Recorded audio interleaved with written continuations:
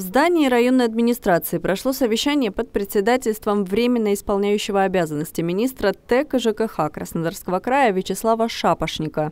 Обсудили темпы догазификации и развития инженерной инфраструктуры на территории Северского, Абинского районов и города Горячий Ключ присутствовали представители трех муниципалитетов, прокуратуры, газораспределительных и ресурсоснабжающих организаций, которые доложили о текущем состоянии дел по исполнению программы догазификации. На сегодняшний день темпы чрезвычайно малы, в том числе и на территории Северского района. За два минувших месяца у нас успели подключить всего 22 абонента. Задача сейчас стоит у нас до отопительного периода запустить как можно больше людей, чтобы они не в феврале подключались, Основной проблемой газовики назвали поиски порядочных подрядчиков, которые были бы в состоянии выполнить свои обязательства.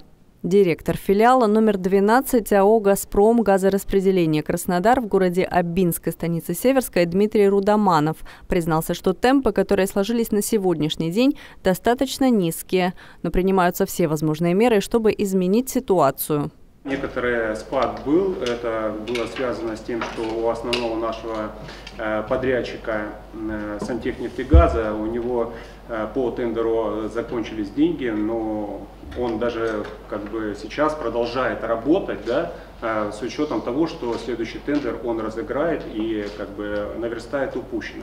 Я к чему говорю, что у него сейчас накоплено большое количество объектов, которые он уже построил, вот, но еще они не, просто не сданы как бы, в эксплуатацию, соответственно, по статистическим данным они не проходят. А, кроме того, э, наши две бригады, они была одна, сейчас э, мы увеличили до двух, они работают и не останавливаются весь этот период времени. Вячеслав Шапошник отметил, что проблемы «Газпром» не должны стать проблемами населения. Кроме того, местные власти обязаны максимально включаться в процесс, в том числе и по поиску новых подрядчиков для выполнения работ.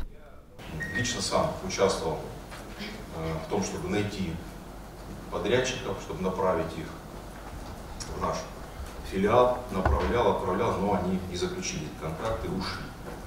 Временно исполняющий обязанности министра ТЭК ЖКХ Краснодарского края рекомендовал чаще собирать муниципальные штабы и приглашать на них сотрудников прокуратуры, взаимодействовать с ресурсоснабжающими организациями. На совещании составили пошаговый план действий по увеличению темпов реализации краевой программы по догазификации домовладений.